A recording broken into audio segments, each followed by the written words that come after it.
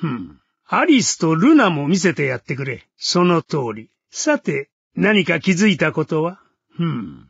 わからん。よく覚えておるな。確かにそうじゃ。カードどころか、コイン一枚たりとも持ってはおらんよ。連れ去られてきてからまだ目を覚ましていないということか。それにしては、やけに落ち着いて見えるがの、その口ぶりが不自然だと言っておるのじゃ。一体いつから記憶がないと言うんじゃ。あれはおそらく歓迎のメッセージじゃろう。そうじゃ。うん。そういうことじゃ。これが歓迎のメッセージでなくて何だと？そんなくだらないことはどうでもよい。肝心の話を聞かせてくれ。どうすれば BP を9以上にできるんじゃ？わしらは持っておらんし、この倉庫の中にも、もしや CD、カラードドアのロックが解除されるまでの時間か。ふん、どうしてそんなめんどくさいことを。同じ色の者同士が組んだ場合のことじゃな。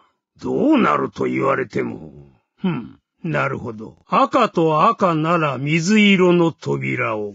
青と青なら黄色の扉を。緑と緑なら紫色の扉を。それぞれ開くことができるというわけか。どういう意味じゃわしは緑のそろばんじゃ。お前さんたちもさらわれてきたんじゃろ？ええ、その通りじゃ。いかにも。なあ、すまんが腕輪を見せてもらえんかな。ふん。それじゃ次は、そこのお前さん、ファイとか言ったな。見せてくれ。うーん、やはりそうか。ディオ、それからクオーク、この二人に腕輪を、そのようじゃな。